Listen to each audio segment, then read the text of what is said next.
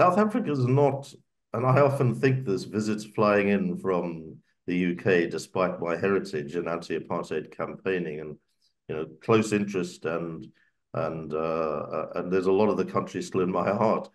I often think the debate in South Africa is curiously and uniquely parochial. Uh, and we're living in a very troubled world. And one of the questions that hasn't yet been asked about this fu the future of the country in whatever way the government of national unity plays out is where is South Africa pointing in the world? We're in a most dangerous situation in my lifetime.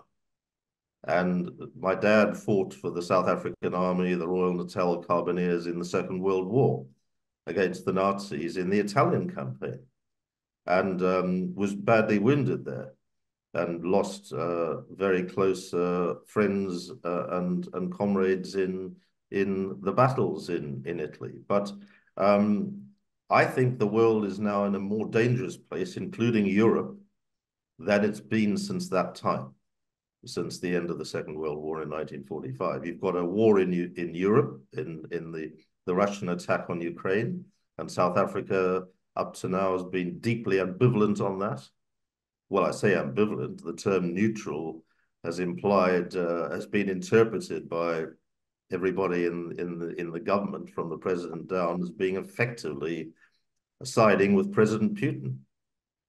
And South Africa's got some tough choices to make.